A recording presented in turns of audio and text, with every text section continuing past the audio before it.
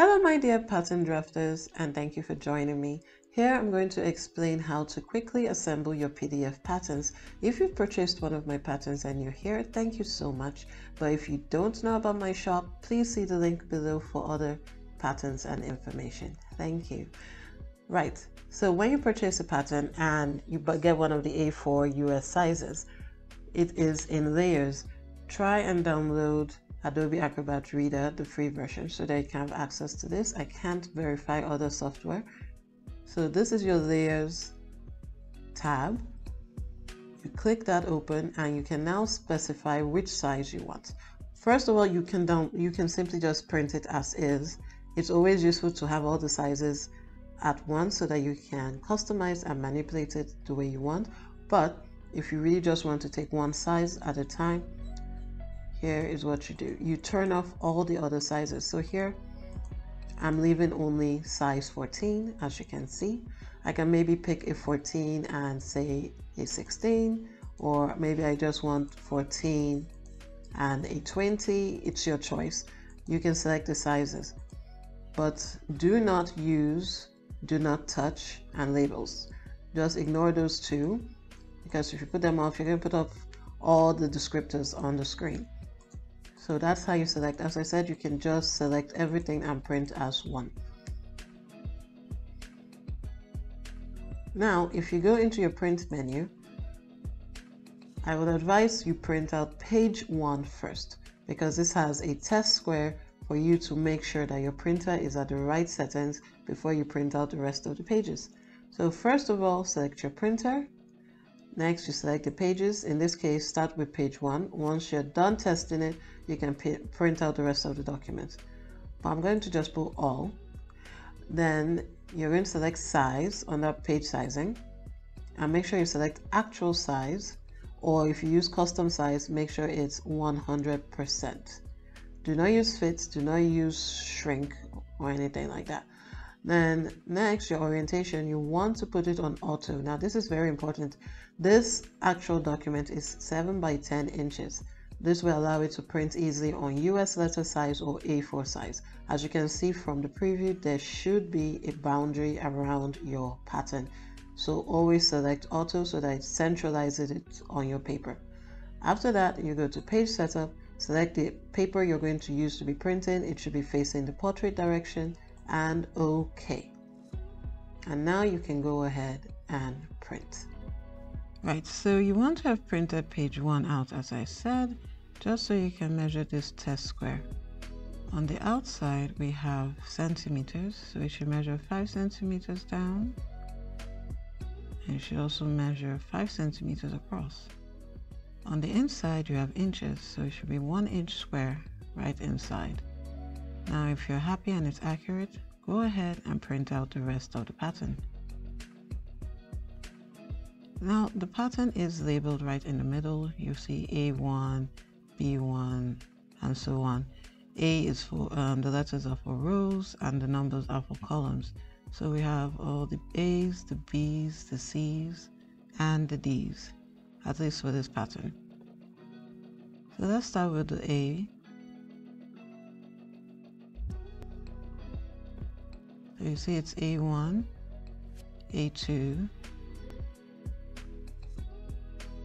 A3 and A4. Right, all we want to do is arrange the rows first.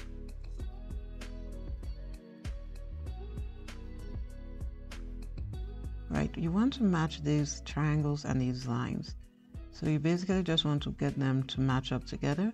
You can either cut off this edge or you can just fold it away, which is what I like to do. So just fold right on that line.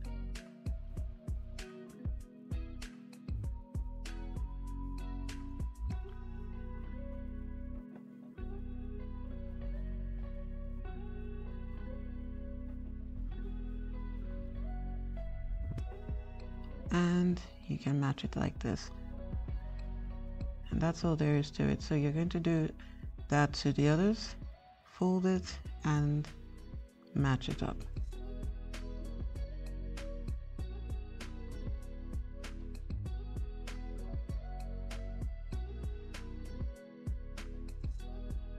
Right, so now we're going to take some sticky glue or sellotape or gum, whatever you have handy.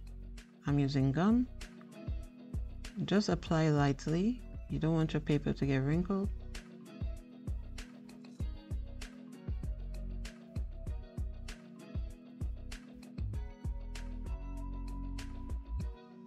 Just take your time and line up the edges.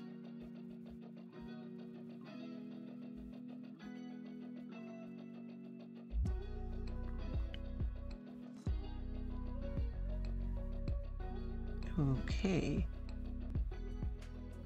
Now we'll just do the remaining.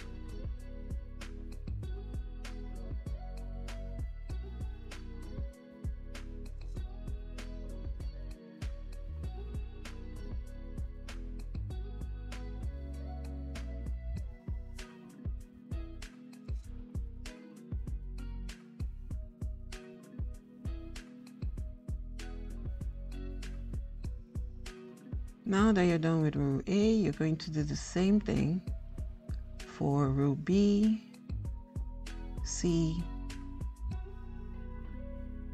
and D, or however many rows you have. It really depends on the pattern. So I'm just going to do that and get back. So now I've done B, I've done C, and I've done D.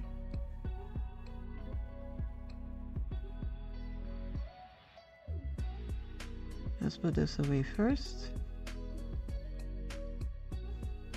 So you're just going to align it in the same way.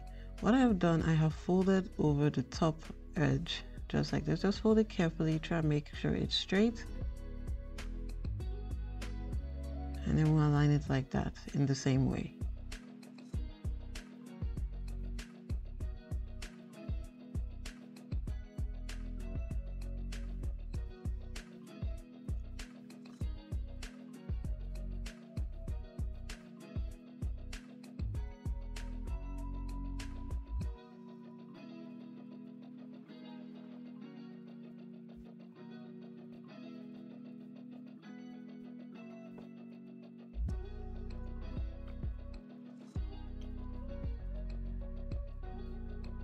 Now, what I do, don't press it down immediately. I like to line up the triangles first. Just match up the triangle, adjust the line, and then you can smooth it out. Move to the next triangle, line it up, and smooth it out like so. Just take your time with this.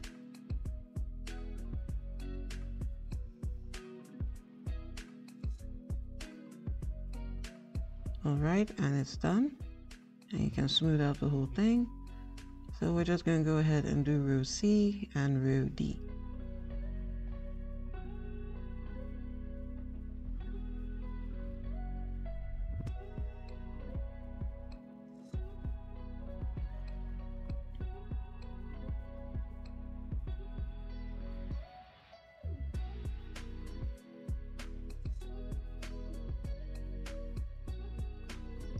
all right we are done.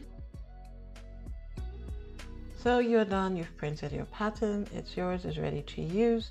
You can simply trace out your size. If you're a size 8 you trace out a size 8 following the lines.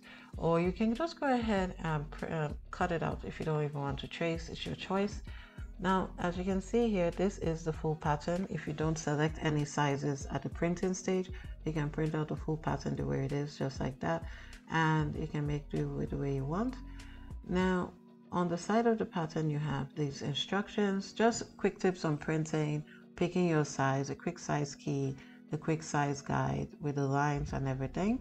And also, uh, if you print out the whole size, you can blend sizes. So you can blend between size 8 and size 10 and 18 and 8 and whatnot. I'll explain all that in another video. Let's not complicate things, but that is why you should sometimes print the whole pattern.